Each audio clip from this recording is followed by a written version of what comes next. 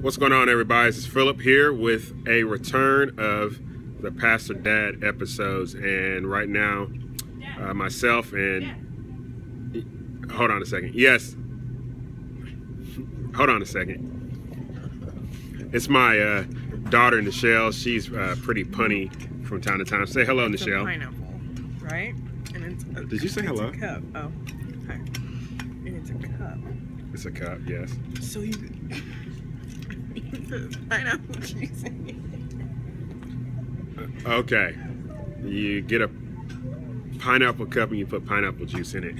Anyway, so we're out here enjoying the final days of spring break and uh, we're spending money as you can only do on spring break. And Michelle is shopping around uh, to replace her brother's room one day because she's moving in there once he leaves. You pretty excited about that?